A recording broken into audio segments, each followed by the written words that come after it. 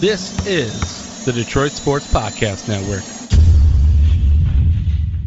Ranking Michigan's 2022 football opponents from easiest to hardest and more on a jam packed edition of Michigan Podcast next. But there's going to be one team that's going to play solely as a team. No man is more important than the team. No coach is more important than the team. The team, the team, the team. Deep for Anthony Carter. Waits for it. Gets caught. They said you can't State. Now what? Brady gets terrific. Throws it, get it, touchdown, Knight again. Schultz just before Brazil got him, and a leaping interception by Woodson. Harbaugh back to throw over the middle.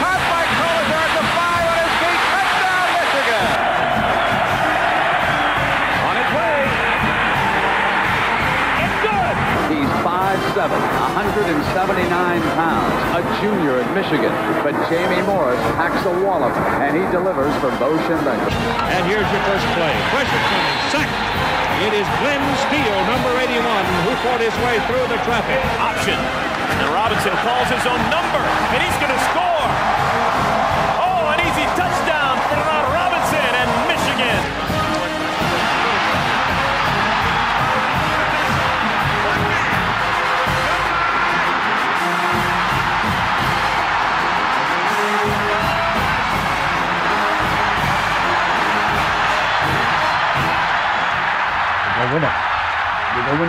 Championship again because we're going to play as a team. And when we play as a team and the old season is over, you and I know it's going to be Michigan again. Michigan.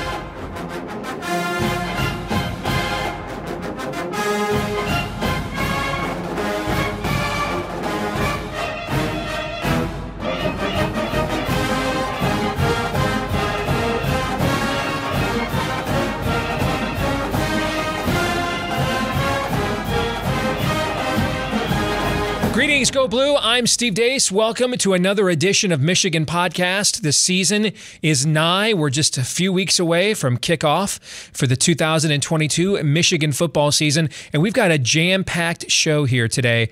Uh, I think this might be the first time we've ever had double guests on the program. Mark Rogers uh, will join us for the 10 minute war, as he typically does, but our old pal, Brett Ciancia from Pick Six Previews.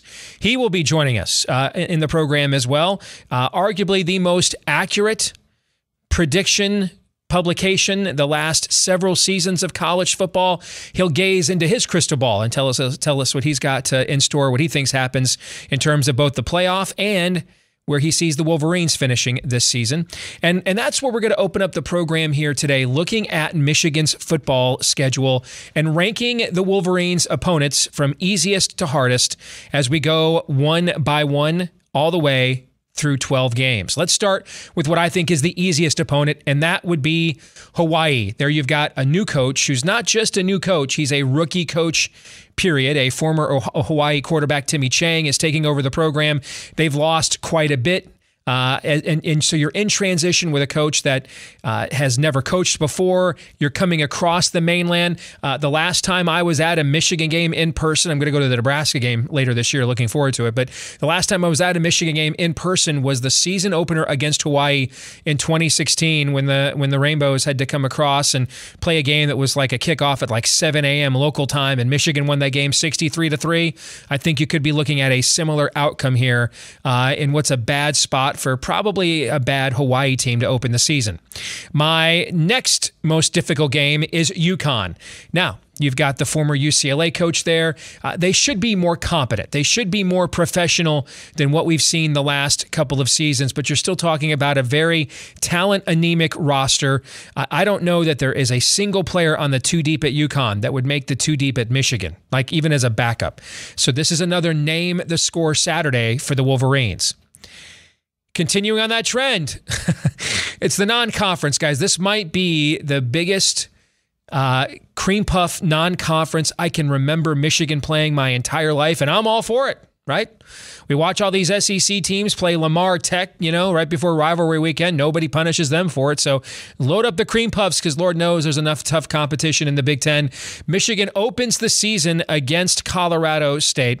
And, and a new coach there for Colorado State as well, except they're bringing in a guy uh, that has had some success, did a phenomenal job rebuilding the Nevada program, knows the Big Ten. Jay Norvell played at the University of Iowa, but he's also taking over a roster that's very much in flux. It's the season opening game. Uh, I expect Michigan to roll here as well against the Rams.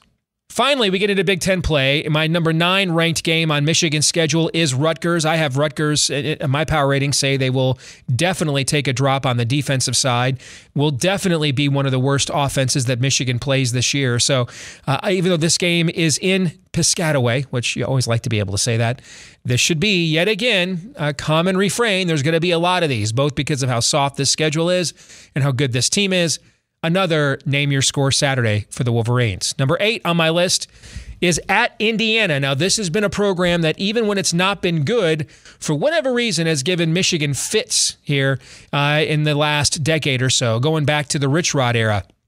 They just seem to play their best against Michigan. Even last year's game, when they were completely overmatched, playing a freshman quarterback in his first start on the road at night at Michigan Stadium, they still played very hard. Uh, they, they still presented some pass rush fit, pass rush fits, easy for me to say, some pass rush fits that still gave Michigan's offensive line fits in a year when it won the Joe Moore Award. They just were overwhelmed from a talent standpoint. I expect them to play hard. I expect them to be better than they were a year ago when this was maybe the most injury riddled team in our entire conference. But I also expect Michigan here to win fairly conv- uh, convincingly. Number eight uh, on my list is, or seven, I should say, is Illinois at home. Yeah, it, it's a fascinating uh, time in the schedule. You know, Michigan's going to have a, a, slew of these tough games at the end of the year. It's a back-loaded schedule. Then, kind of like right in the middle of it is Illinois and uh, Bret Bielema, who obviously knows how to come into Michigan Stadium and win. I just think that this is the year they take kind of a dip. They were surprisingly uh, competitive last year in Bielema's first year. They had more fifth-year COVID and COVID seniors than any team in our league. They lost a lot. They lost a bunch of those guys. This is a roster that's very much in flux and, and and I think they take a dip this year before maybe taking a step forward next year. Expect Michigan to roll. Number six on this list is Michigan's Big Ten opener. And even in years when Michigan football was struggling, did not often lose Big Ten openers, Maryland will present some problems for the Wolverines. Uh, assuming that it can finally keep all those receivers healthy, it struggled to do that last year. Maryland just seems to always have injury problems. Uh, I expect that they will give Michigan's young secondary uh, some problems in that Big Ten opener, especially when it should barely be challenged the first few weeks of the year against Colorado State, Hawaii, and UConn. But Maryland's defense is absolutely atrocious. Some of the worst talent and depth numbers that in my power ratings in the entire Big Ten Conference. I could see Maryland putting up 24, 28, maybe even 31 points and giving up 52, 56, maybe more. Similar to the game we saw last year uh, at College Park. That was kind of Donovan Edwards' breakout party, uh, if you will. Uh, so I think Michigan takes a punch or two, but still dominates for the most part here, as it has really the entire Harbaugh era against the Terps. All right, now we get into the tougher portion of the schedule. This will be a, this is this will be a controversial choice to some, and is not intended to be a troll. But I have Michigan State only the fifth most difficult game on the schedule for three reasons. Number one, uh, it's a double revenge match for the Wolverines. They they know. Uh, Harbaugh knows. The program knows. You could hear this from some of the players. Their comments uh, in Indianapolis a couple of weeks ago. They know they have to win this game. They, they they know that. They know they cannot allow Mel Tucker to punk them for a third time in a row, especially for a second time in a row in their own stadium. That's number one. So you have a double revenge angle. Number two, it is in their own stadium. They have not played Michigan State at home in their own stadium in front of fans fans since 2019. Uh, this will be the biggest home game on the schedule this year with Ohio State on the road. So that environment, I think, will be a huge advantage for the Wolverines. And then on top of that, I think Michigan State had a phenomenal year last year. Shouldn't take anything away from them. They beat us. Uh, it was our only regular season loss, although There was some controversy in that game, of course, but they beat us, won 11 games, won a New Year's Six bowl game. That is legit. But they did pull out a lot of games last year. You know, we don't have a KenPom luck factor in football like we do uh, in uh, in college basketball. But if you can look at it, you know, win expectancy and several of the games that Michigan State won last year, you'd get down to the last couple of minutes and their win expectancy was sub 50%. Uh, I just think after a while, that tends to regress to the mean a little bit. This will still be a very good football team. Uh, I think it'll be, probably be more of a seven to nine win team than a 10 to 11 win team as it was a year ago. And so, for those three reasons, a bit of a step back for Michigan State, the situation and the desperation and redemption and urgency being on the side of the Wolverines, uh, and then also where the game is being played, I think those three things weigh heavily into Michigan's favor. And that's why I had this game, I guess we'll say, only rated the fifth most toughest game on the schedule. Number four on my list is Nebraska. And don't forget how tough the Huskers played us last year at night in Lincoln. Uh, and and there's another problem here in this game. As I mentioned earlier, I'm going to it. All right. And going back to the first time I ever went to a Michigan game in 1986 against Minnesota, we were number two in the country. We lost at home to a six and five Minnesota team coached by Lou Holtz. That game probably got him the Notre Dame job.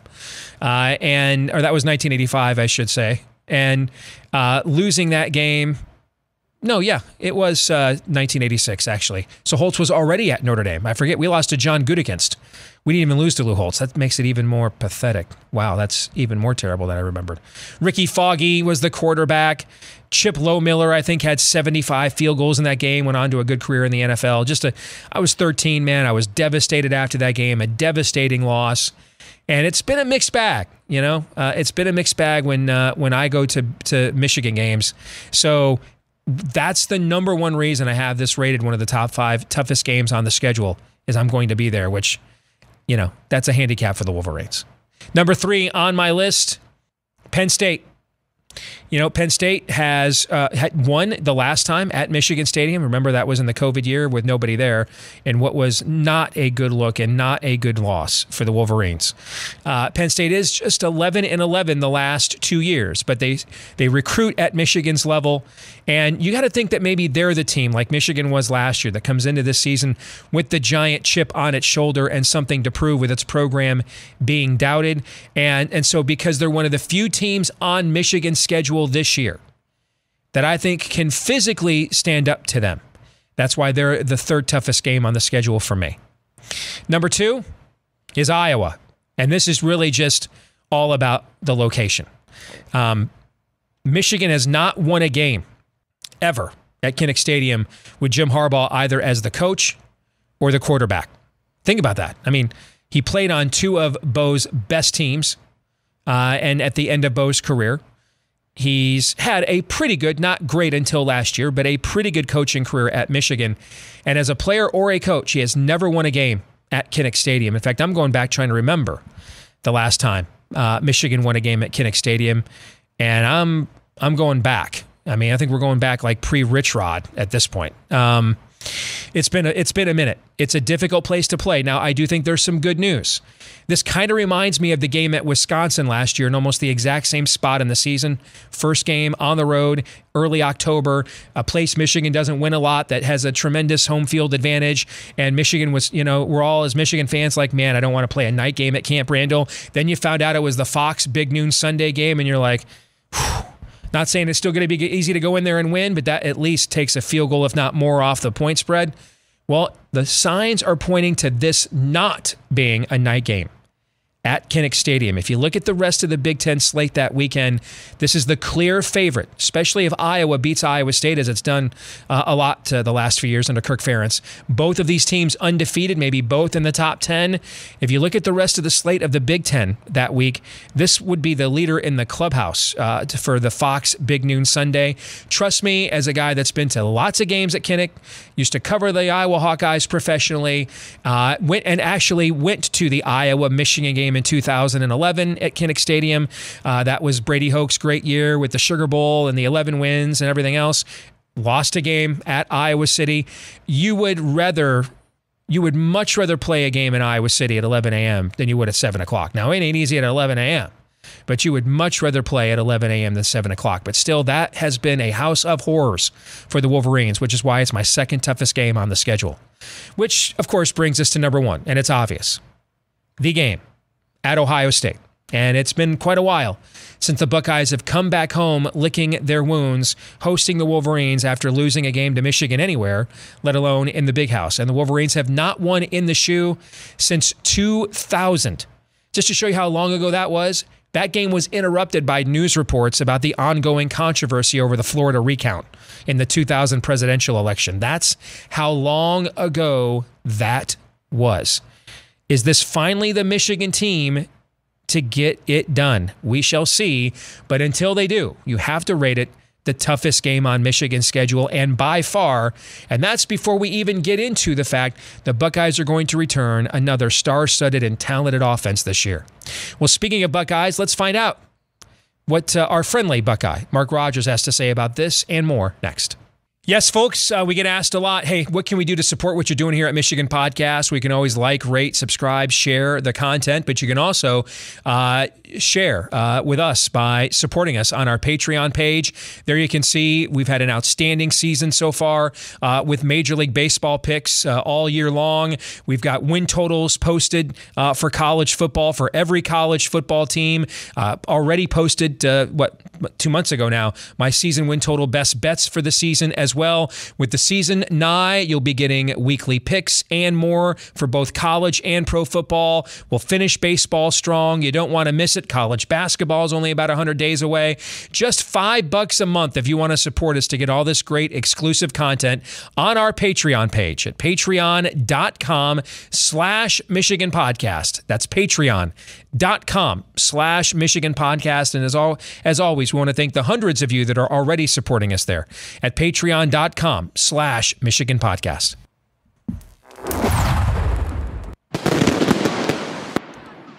All right, let's get to it. Time for the 10 minute war with our friendly neighborhood and perhaps only reasonable buck nut friend and fan, Mark Rogers, who, of course, has a tremendous channel covering college football here on YouTube, the voice of college football. They've got channels and correspondents set up for pretty much every top program in the country. Great sources of information, particularly during the time of year when maybe, for, of course, just purely entertainment and informational purposes, you might be looking to get ahead of the market with little nuggets of information. It can be a quite, shall we say, profitable experience. Mark, good to see you again, my friend. How are you? I am doing well, Steve. Good to see you as well. We are just a few weeks away from football. We are just a few weeks away from football. I was just laying out how I rated Michigan's schedule, and I want to get your from you know easiest game to hardest. I want to get a few big picture takes from you. Number one, I think this could very well be the softest non-conference schedule that Michigan has played ever, like in the history of the program, um, since at least I've been a fan. Um, and and maybe they had softer schedules like in the 70s, but it just seemed that way because you had you know Michigan and Ohio State had 105 scholarships and could compile a lot more depth, and there was no transfer portal, and so it wasn't necessarily that teams like Cal and and UCLA were that bad. They were just getting rolled by superior rosters, and so it looked like it's a Charmin schedule. This is a Charmin soft non-schedule, uh, non-conference schedule, and in this era where hey all that matters is how many games at the end of the year you win, it seems. I, I have no problem with it whatsoever. But what do you think?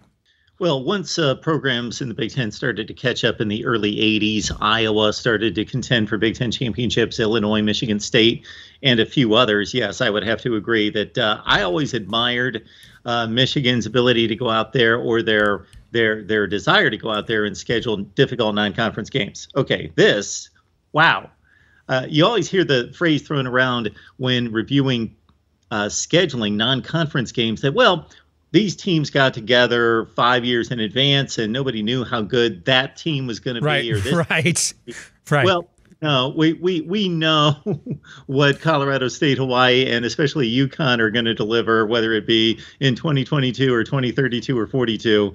Uh, it is an awful non-conference schedule. Uh, there is a situation, right, with UCLA that there was a game schedule between the Wolverines and the Bruins that was canceled, correct? Yes.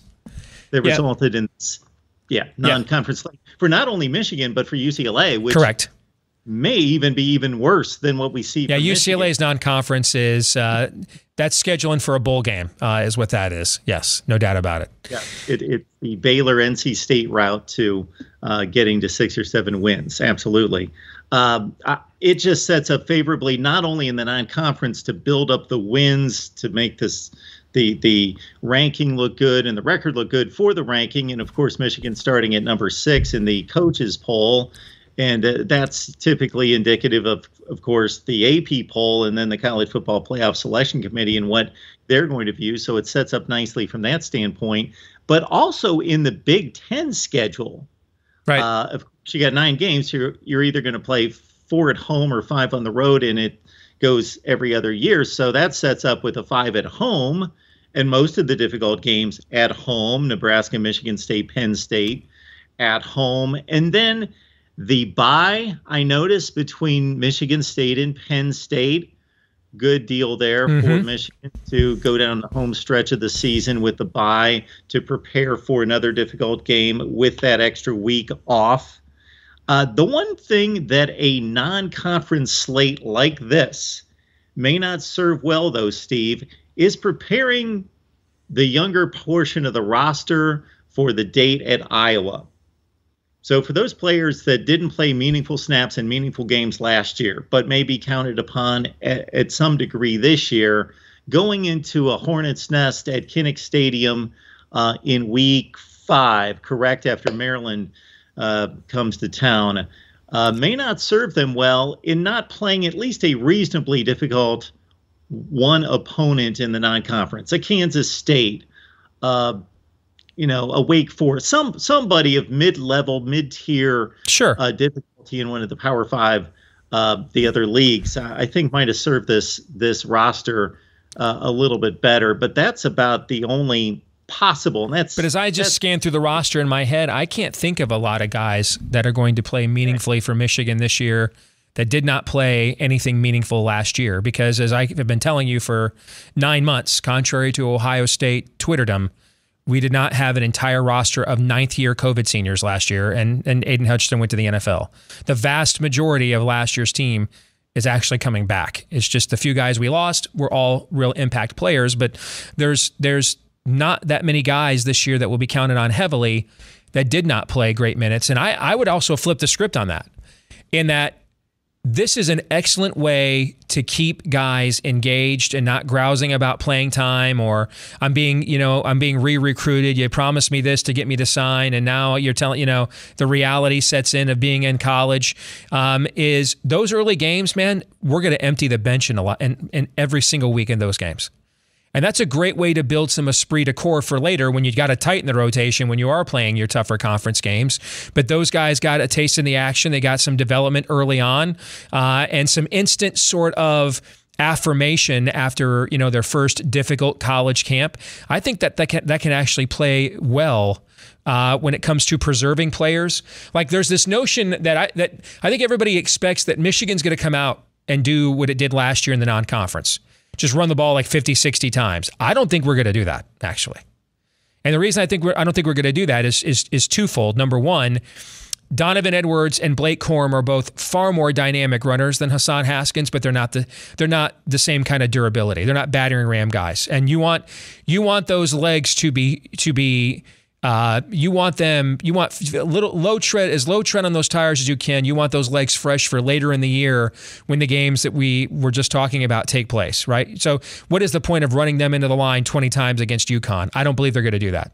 The other reason is is because they've got uh, they've got the most talent uh, in the receiver room at Michigan than they've had since you know when they had Breaston, Braylon, uh, and Jason Avant. They might not have a guy that's that good, but in terms of the depth, they've never had this much of a room.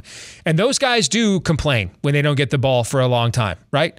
And so that's that's one thing when you might go into Iowa City and you might play this a little bit more closer to the vest in that environment and not sling it all over the field against a secondary at Iowa that pretty much leads the league or is up there in the Big Ten in interceptions every year. And so you you you kind of uh, make nice deposits in those guys' accounts in those first three games, and you let a Ronnie Bell get ten catches against UConn coming off a knee injury. You let a you let some you let some guys get two or three, or you let those quarterbacks get two or three touchdown uh, receptions apiece. It pro, it both saves those uh, running backs, those star backs, but then also you know gives those uh, receivers a little uh, of the face time and the camera time that they desire, so that later in the year when things get a little bit more physical in the Big Ten you know, they're more on board. Your thoughts on that? Well, I think you've hit all the key points that uh, play into preparing the team physically, but also keeping the psyches in check. Yes, we know that receivers are sometimes a bit different than everybody else on the field. So, your point to keeping everybody else involved by just getting them snaps, the receivers that get snaps and run pass routes or just run down the field five or seven yards while you're running the ball between the tackles mm-hmm. aren't satisfied with those snaps. So throw them the football, get them three to four. And like you say, even though there are not necessarily those high, high, extremely high end guys, it's a pretty impressive receiver room from a depth standpoint. Keep those guys involved, throw them the ball two or three times against the likes of UConn, Colorado State, and Hawaii. And yeah, Hassan Haskins, battering ram, but Corum, Edwards, keep them keep them fresh, keep them healthy. You know, go Tom Landry, Tony Dorsett. We know that you're not happy with this, but 15 to 18 carries for the season, and then we'll be ready for you to um, to run the football against uh, Penn State, Ohio State, and those teams. They'll probably Absolutely. also have an ongoing quarterback competition. Mark, that's the other reason why I don't think they're going to run the ball 60 times. Is I think I think what they will do is uh, just say it's too close to call Cade will get voted captain by his teammates more than likely. And, and so they'll give him the starting nod. But I think that they will play this thing out. They will treat those three games from a quarterback position like preseason games. Uh, and and they will they will make a determination who the permanent starter is in those games. And you're not going to do that running the ball 60 times. So I think when you look at all three of those situations, I, I think you're going to see them actually throw a lot more in those early games than what we saw last year more moving parts in the passing game that have to be worked on rep after rep after rep against competition. We'll we'll just say that live live competition. Uh, I think pays dividends more down the road than it does running the football, even though those reps are valuable uh, for everybody involved, but not as many moving por- parts that have to be coordinated between line, quarterback, receivers, timing, all of that. But again, at the same time, I was thinking the same thing early in 21, and I thought that they were going to open it up a little bit for a quarterback competition, and then also knowing that hey, we know who Haskins is. Let's uh, prepare this team for down the road, but it all worked out. Finally, what do you think is the second toughest game on Michigan's schedule? Obviously, Ohio State stands apart given the personnel that it has on a perennial basis and the fact Michigan has not won there since ABC was breaking into the game to give us updates on the Florida recount. That's how long ago it was. All right, that was Drew the Drew Henson game in 2000. Okay, so I mean, I think it was I think it was Drew Henson versus Steve Bellisari. I think was the quarterback battle that day, yep. and and obviously Drew Henson was going to win that eventually, and he did. That's the last time we went into the horseshoe and came out with a W, and that was I think that season in three teams. I think Michigan, Purdue, and Northwestern tied for the Big Ten championship. That was the Drew Brees year uh, at Purdue when they went to the Rose Bowl. So I mean, that just shows shows everybody how long it's been since Michigan has won that game on you know on the road wearing a white uniform. So that clearly is number one. I think at Iowa is number two, even though all signs are now that they're going to escape playing them at night like we did Wisconsin last year, which was kind of a subtle, you know, advantage that Michigan got early on. It's never easy to play at Camp Randall, but you'd much rather play there at 11 a.m. local than 7 o'clock, right? Same thing with Kinnick, but I still think, given the history, Jim Harbaugh, either as a player or a coach, has never won a game at Kinnick Stadium. And so I have that as the second hardest game on Michigan's schedule, Mark. But what do you think? I think you're bringing up bad memories of Ohio State having equal to or better rosters than the likes of Purdue, but facing Drew Brees with Steve Bellisari, who somehow held down the starting quarterback job for three seasons at Ohio State 99, 2000, 01. Okay, get that out of my head. Mediocre Ohio State football teams. Okay, Penn State. I'm going to go with Penn State still. I just believe Sean Clifford, with all the criticism, uh, I think that he has proven more so in this past season to be a gamer, to be a baller, to be a tough leader. Uh, Iowa, yes, from a environment standpoint and the timing of the game, the Iowa game stands out because of the history and because we know how difficult it is to go into Kinnick and somehow they find just enough offense to put pressure on the likes of Ohio State, Michigan, Penn State. All three of those teams come to mind going to Kinnick in the last five or six years and coming out with L's or very, very narrow mm-hmm. wins. Last second of the game, Trace McSorley to the back of the end zone kind of wins against that that Iowa crowd. Uh, but I, still have to think that Penn State. I, I, know that this isn't coming together as maybe their year, but um, great recruiting classes. Yeah. And, uh, They're one of the few teams on Michigan's schedule this year that can stand toe to toe with them physically, and there's not a lot of those. Okay, they're they are one of the they might be the only other team actually on Michigan's schedule that could do that. Uh, uh with uh, of course, Ohio State's in its own realm, but they might be the only other team besides the Buckeyes on Michigan's schedule that could stand up to them physically. So there's nothing wrong with picking. That was my number three game, so we weren't that far off at all. All right, good to see you as always, brother. Take care. All right. Thank you, Steve. You Appreciate bet. it. Well, we got to know our next guest here a few years ago because he has an outstanding college football preview that some estimate has been the most accurate uh, in its forecast of all the college football preview magazines and publications out there. Joined again by Brett Ciancia from Pick Six Previews here on Michigan Podcast. Hey, Steve. Yeah, thanks for having me on. And uh, first off, congrats to your Wolverines and all the fans out there. Um, and I actually quoted you in my 2022 book um, because after that Ohio State win, I knew right away to tune in to Michigan podcast. you recorded it saying, uh, you know, that wasn't just a three-hour game; that was a three-hour exorcism, and uh, I thought that really summed it up well. Yes. The last decade, um, the last decade plus for that rivalry in Michigan football in general. So. Uh, anyways, congrats to Michigan. Congrats to, to what you built over here at Michigan Podcast. And thanks for having me on again. You bet, man. So tell us a little bit about Pick uh, Six previews and where the idea came from, how kind of your approach differs from what people are used to seeing from. Uh, there aren't too many magazines left anymore. I think it's pretty much just Athlons, Lindy's, and and Phil Steele's. I mean, there, when you and I first started having these conversations, there were still the six or seven magazines, but between the economy and technology and COVID, we're down to kind of like the three big ones now uh, that everybody remembers. And then you have created quite a nice little niche for yourself in that space. How have you done it? Yeah, thank you. Appreciate it. Um, yeah, after 10 years of going PDF digital only, I actually did add a hard copy edition this year. So I'm, I'm joining the hard copy game along with those three that you mentioned. And, um, you know, there's something to be said about the preseason preview product going back to the 1950s. Um, just a, a tangible hard copy, a book you can walk around with on the beach, on the lake, uh, you know, on, on fall Saturdays at the coffee side table. Um, so I am glad to have gone physical copy this year. And and yeah, Pick Six Previews, I launched it back in 2012 as a college football preview website.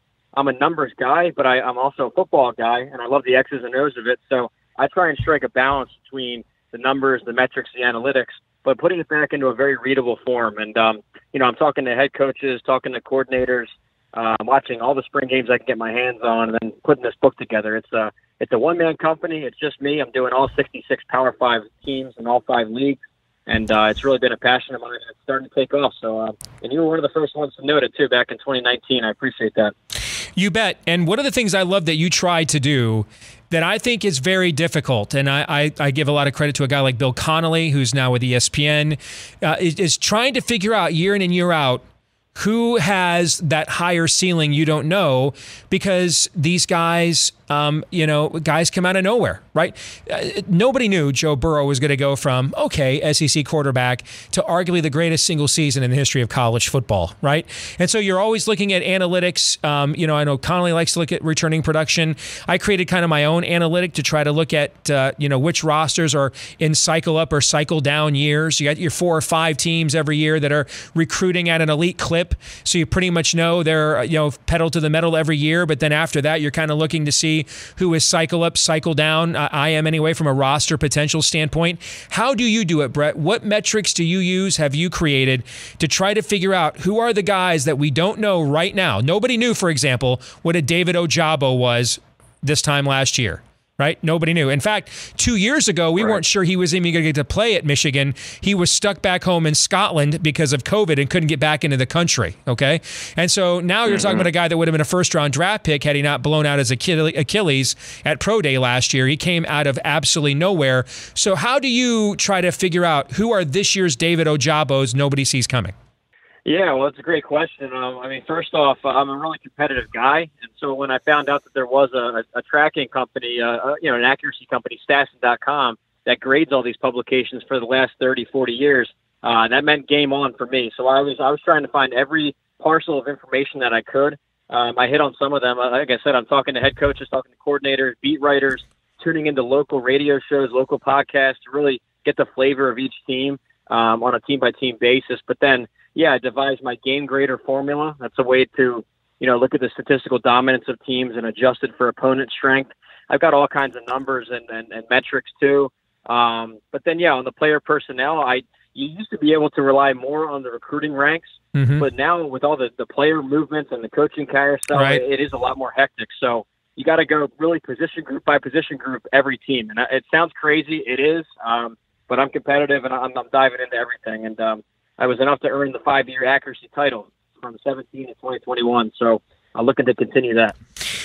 All right, let's go to this season then. There, there seems to be sort of a conventional wisdom consensus, and and I, I, you know, I do my, my own personal preview for fun, and I have since high school, but I do it as a projection. How I think based on metrics and numbers, um, you know, and just looking at schedules, uh, how I think the season will go. So when I put out a poll at the beginning of the year in a, in in my own preview, it is to see it is a forecast of what I think the rankings will be when the committee meets for the final time uh, at the end of the regular season. How do you amass your rankings? Are they a preseason power rating? Is it a projection? Is it a little bit of both? I, I think it's a little bit of both there. Um, you know, my, my playoff, my top four, that's what I think the playoff will be uh, come November, uh, you know, late, late November, early December, what the committee will announce. So that's my four. Um, it's uh, it's Alabama, Ohio State, Georgia, and Utah. Um, so I guess that answers your question. I don't think that Utah would run through the Pac-12. Uh, I'm sorry, would run through the SEC or run through the Big Ten. But given their schedule that, that they do have, I think they're more likely to make the playoff than an A and M or um, or even a Michigan, which I think is really close with Ohio State. But um, but yeah, it's kind of a mix between preseason expectation and, and postseason result. Um, but uh, but yeah, everything goes into it. I factor in everything. Yeah, but I, the thing I actually really like that you guys do, and it's one, one of my favorite episodes each preseason, is the over under show, Mhm, mhm. where you look at the win totals, the win totals over under, and you guys. Well, I know that you you and Aaron have done this. You go through each conference and and you look back at the end of the year. You guys are pretty pretty dang accurate on those. So something you're doing is right too over there. Well, you mentioned Utah. I've, I've got a, a forever fond spot in my heart for the Utes because I gave them out as a 15 to 1 wager that I made last year, and I put it on my Patreon page last year to win the Pac 12. And obviously that came through. And uh, my family uh, also has a nice fond spot in their hearts for the Utes because between Utah 15 to 1 and Michigan 10 to 1 to win the Big Ten paying off, we had a very nice vacation at Universal Studios in the dead of the Iowa winter here, uh, Brett. So that worked out pretty well. Now, my depth numbers, I, I when I when I looked at Utah, I found it fascinating in that I love, I thought clearly the top line of personnel they were returning was clearly better I mean, their offense isn't as explosive as USC's, for example. But when you look at the balance of top line players they're returning comprehensively on the roster, I thought they were clearly the best team uh, returning in the Pac-12. But th- but they but their depth numbers for me are low, which means that is a team that if they run into some injuries, I could see that being an issue. Now the the good thing they have is they're not in a league that physically a lot of those teams can can physically stand up to them, right? I mean Mario Cristobal, we thought he was building that kind of team in Oregon. They got absolutely mauled in the two times they played Utah last year. So week to week, there are not a lot of teams that can stand up to them in the trenches. There might be a team week one that can. Now they might not be as good at them everywhere else, but physically, you got to think Florida probably could stand up to uh, you know uh, them given the way they recruit in the SEC. So I, I to me, I, I I think the Utes are clearly the favorite in the Pac-12. But I like a lot of other people, I think there are three teams that are virtual locks to make the playoffs, and then who that fourth team is, I think there can be a lot of variance. Um, in in my projection scenario, I actually have Michigan and Ohio State both 11 and 0 when they play at the end of the regular season. And, you know, last year, the, the win total I got the most wrong, one of my best bets was Michigan under its win total of eight. This year, this is the, in terms of talent, and as we switch to the Wolverines, this is the most uh, talented and, in terms of depth and balanced Michigan roster that I think the Wolverines have had since like you know the last great um, surge under Lloyd Carr from 2003 to 2006. This is the best receiver room Michigan's had since then. I think this is the best running back combination in terms of explosiveness Michigan has had since then. I think it's the best quarterback room Michigan has had since then, uh, and and you start thinking, well, they lost some key guys on defense, but Harbaugh is out there doing stuff I've never seen him before. He's he is really blowing up the expectations of this defense. He even said on a show just the other day he thinks this will be better than last year's defense. So clearly, you think the Wolverines are in that group for that fourth spot. That and and there seems to be a lot of disagreement. And you mentioned Utah and A and M. They're everybody in Michigan and Notre Dame. There's about seven or eight teams that are in contention for that fourth spot right now. Clemson's in that conversation. So why what differentiated Utah for you? Because they're in that conversation with everybody too, as you know, Brett. So for you, what differentiated Utah from everybody else, kind of in that who's that fourth team group?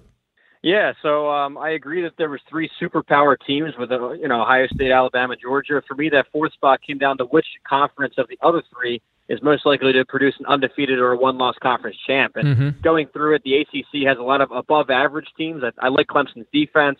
Um, I think NC State's a very strong team. Uh, Louisville's got a great offense. Miami's rebuilding. So I didn't see a playoff candidate there. The Big 12 is even more wide open with, you could argue, five different teams to win that thing.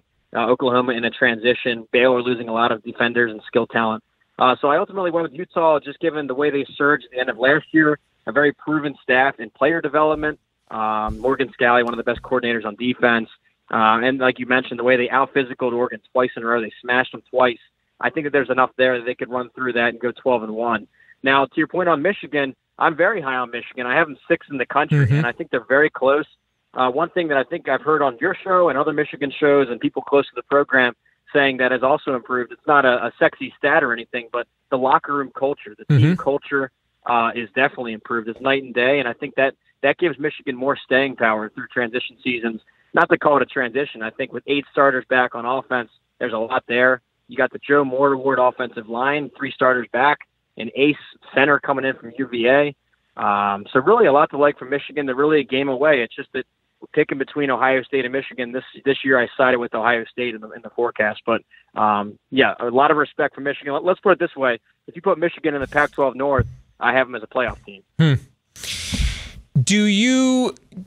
I have. I am projecting an all Big Ten SEC playoff, which is kind of a preview, probably, of the era we're about to embark upon in the next three to five years in college football. So I am projecting an Ohio State, Michigan, Alabama, and Georgia playoff. You're really not that far off from that if you have Michigan number six. I mean, you're you're at least hovering somewhere around the same stratosphere. Um, and ironically, it might be that Utah Florida game that might determine which one of us turns out to be right about this. If Michigan is, if we both have Michigan pegged right, if, if Utah wins that game, then I agree. They would go with the zero or one loss conference champ in that scenario. If they lose that game, which is a very losable game against an SEC team on the road, then you know you're looking at a Utah a team that might be a little bit like last year. But I got to confess, with the with the with the likely end of the traditional Rose Bowl upon us, given what's going on right now with college football expansion, as much as I want to go down there and beat Ohio State for the first time since 2000, I'm not going to be terribly broken up as an old school guy, man. If if if Michigan gets in the Rose Bowl this year instead, because Brett, I think this might we only might have one or two like old school traditional Rose Bowls left before this thing is radically different. Yeah, and that's really really the, the point this this off season. Really, it's a shame, and I might be in the old fashioned camp here, but um, I just love what makes college football unique, and uh, and that what that is is the in-state rivalries, the the, the regional rivalries, the regionality of it, uh, the long-standing traditions, all the pageantry around the game, and what we're seeing with each wave of conference realignment, you lose a little bit more of that historic game. Um, you know, a little bit more is ceded to the TV contracts, the TV companies uh, and a little bit more becoming NFL junior every year. So it's really a shame. This year really opened a lot of eyes with the USC UCLA package, and uh, of course, I'm sure we'll get replies saying, "Yeah, but the money, the dollars." Uh, that's not really my worldview. That's not really my my value system right now. Where I'm at, I mean, I'm not a, a conference commish. I'm not a university executive. So here as a college football uh, aficionado, someone that's passionate about the history of the game, Mhm. I don't really care what the dollars of it. I, I want the the tradition of it uh, reward the fans that love the sport that have made this into the, the beast that it is. So uh, not to rant here on Michigan podcast, but uh, as such a historic program that Michigan is, I'm sure there's some sentiment there. Absolutely. Um, you know, on your side. You bet. So tell us, who are you higher on uh, ahead of the market? For me, uh, it's Mississippi State and Air Force. I'm higher on both of them than the market is right now. Um, in fact, I think Air Force is going to be the first service academy team to get the uh, Group of Five bid for the uh, for the New Year's Six. And and I, I know Mississippi State plays a difficult schedule, but if uh, but I think uh, I think they will get one of Alabama or Georgia at home. I do, uh, particularly Georgia. If you look at the string of games that Georgia plays before that Mississippi State game, it's a classic letdown spot. Then you go in there against a, a quirky offense. Uh, what is it, 16, 17 starters coming back? Those are the two teams I am higher on than the rest of the market. What about you? Yeah, real quick with Mississippi State, I agree big time. I'm the only publication out there that have them outside of sixth or seventh in the West. I've got them uh, in, in quotes up at fifth place. It's just a rugged division. Yeah. I have them in the top 25. Uh, so I agree with you there. Another team I'll throw in there is BYU. Mhm. Um, this is a team that returns 15 of their top 16 defenders, nine starters on offense. They smoked the Pac-12 last year, going five and zero. Um, the thing is, this year their win total was only at seven. If you got it early enough, it's already up to eight or even eight and a half. So I think I was on the right side of that bet about three months ago, uh, thinking that BYU crushes that seven total. Uh, a team really a diamond in the rough. Uh, they're, they're sitting there a win total of two and a half or three wins is Arizona, the Wildcats, and um, this is a team second year under Jedd Fisch. I know they went one and eleven last year, and, and right away you would throw this bet out the window. But no, when you look back at their games, they were competitive. Uh, they bring back a ton of experience. They brought in Jayden de Laura, the Washington State quarterback who earned Freshman of the Year in the Pac-12.